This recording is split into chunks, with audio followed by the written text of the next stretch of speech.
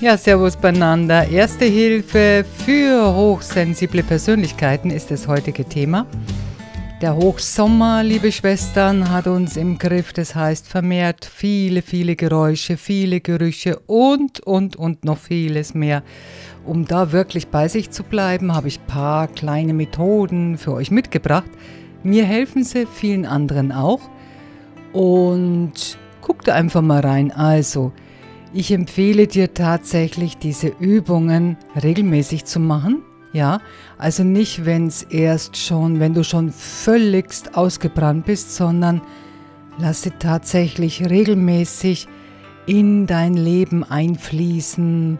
Am besten, ja, also ich mache sie jeden Abend. Du siehst, ich höre mit Kopfhörer, je nachdem, also es gibt viele Möglichkeiten für Meditationsmusik. Ich mache es über Handy und mir ist ein Kopfhörer lieber, einfach um die Geräusche auszublenden, die störenden. Das ist jetzt keine Meditationsmusik, sondern Affirmation, die ich mir hier gerade anhöre.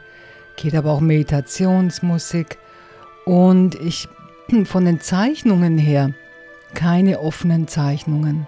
Ja, also wenn, wenn, wenn wenn es um Konzentration geht, um die Aufmerksamkeit zu verbessern, um einen Blick nach innen zu richten, empfehle ich immer klare Strukturen, keine offenen Formen, eher innerhalb einer Struktur zu zeichnen, wie du siehst, weil das gibt uns Sicherheit und diese äh, ja, Sicherheit, diese,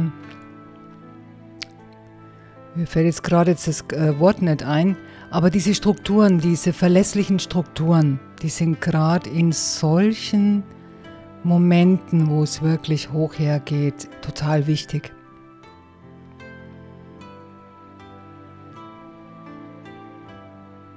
Also leg dir, besorg dir viele, viele Farben, Buntstifte, das sind jetzt Aquarellstifte. Vom Papier her ist es ein gängiges, ganz, ja sogar aus einem billig, recht günstiges Papier, meine ich sogar. Also das weiße, das andere nicht.